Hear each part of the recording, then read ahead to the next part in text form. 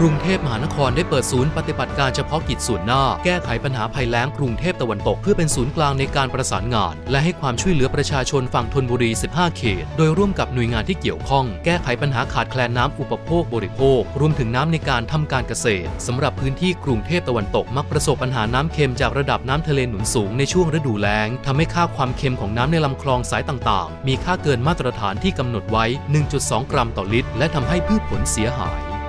เราก็จะใช้น้ำดีเนยนะครับ มาล้างน้ำเสียที่อยู่ในระบบคลองของเรา เวลาน้ำขึ้นเราก็ปิดประตูน้ำนะครับ